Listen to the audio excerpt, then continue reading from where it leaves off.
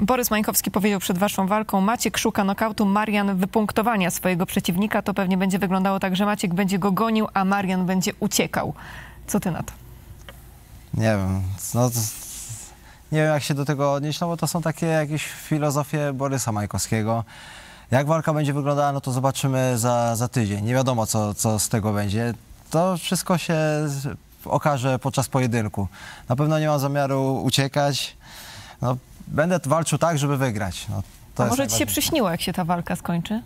E, nie, akurat walka z Maćkiem mi się nie śniła. Ale jedna walka ci się śniła, z tego co Tak, wiem. tak, Chyba w wywiadzie dla. Indicage.pl powiedziałeś, tak? Dokładnie. Wal- śniła mi się walka Mateusza z, ze Scottem i, i śniła mi się właśnie, że Mateusz go znokautował i to było coś, coś takiego niesamowitego, choć nie spodziewałem się tak naprawdę, jak patrzyłem na papierze, że Mateusz go znokautuje. Jasnowic.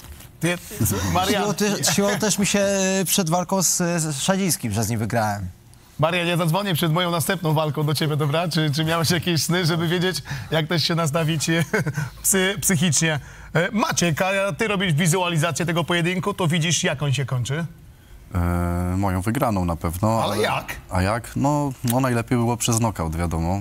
Tego zawsze szukam, jakby do tego dążę. No, oczywiście też jestem gotowy na, na, na pełen dystans i, i mam jakąś taktykę przygotowaną na, na jakby każdą ewentualność. I no nic, byleby zwyciężyć. Tak jeszcze wracając do przeszłości, czy możesz nam powiedzieć, jak duże było twoje rozczarowanie, kiedy okazało się, że nie zmierzysz się z Marianem na KSW 54? E, No dość duże było to dla mnie rozczarowanie, e, no, głównie dlatego, że jakby cały okres przygotowawczy jest zawsze pod, pod konkretnego przeciwnika i mi się zmienił przeciwnik już w takim momencie, że nie miałem szans e, niczego zmienić, jakby byłem gotowy na Mariana, dostałem zawodnika zupełnie innego stylistycznie, też nie wiedziałem czego się po nim spodziewać.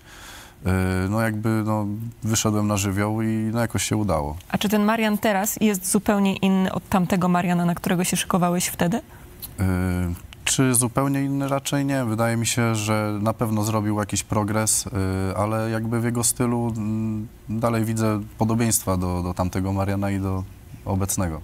No to dobra, mówię, m- mieliśmy nie iść dzisiaj sztampą, ale trzeba pójść sztampą na koniec. Marian, mocne i słabe strony rywala? No mocne to na pewno stójka i zapasy. Myślę, że najsłabszy no to parter. Myślę, że to nie, jest tajemnicą. No nie wywodzi się z brazylijskiego jiu-jitsu, więc myślę, że, że na papierze to, ale, ale akurat mówiąc szczerze, nie będę szukał e, tej, tej słabej strony e, Maćka. Nie będę szukał parteru. To samo pytanie, Maciek. Mhm. No, za wiele na pewno nie zdradzimy, że tak powiem, y, w taktyce, ale ja zauważyłem tam pewne, pewne słabe strony Mariana. Może nie jest to jakby typowa słaba płaszczyzna, ale w pewnych momentach walki wydaje mi się, że może tracić czujność i tam będę szukał wtedy swojej okazji.